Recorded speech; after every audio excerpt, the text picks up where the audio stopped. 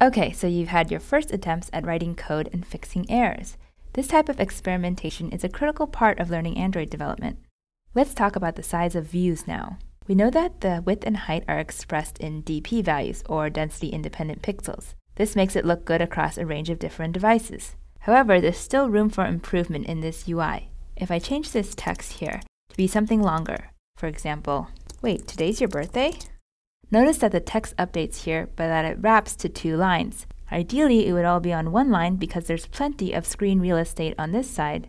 The reason the box didn't change size is because we gave it a fixed width and height of 150 dp. When you set a very specific value for width and height like this, this is called hardcoding a value. It's generally considered not good practice because if the text ever changes like this, then it looks funny.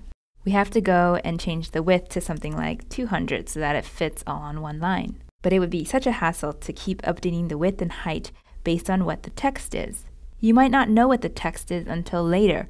For example, if you have an app that's showing news articles, the title of each story may change, and you don't want your UI to break if you have a really long title or a really short title.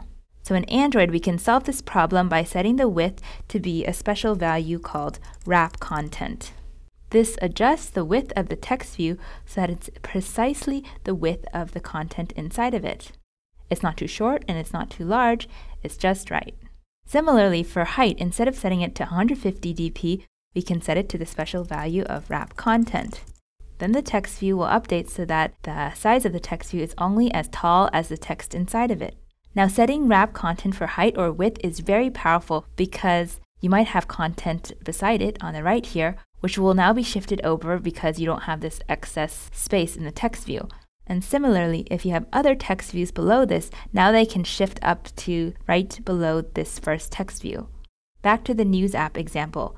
If this was the story title, you wouldn't want the story description to be all the way down here, 150 dips away. Instead, you'd want the description to be right up under the story title. Zooming back out, let's try a shorter string.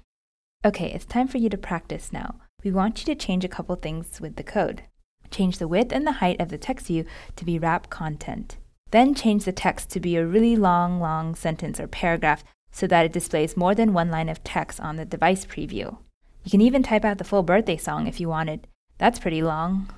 The code to get you started is linked below.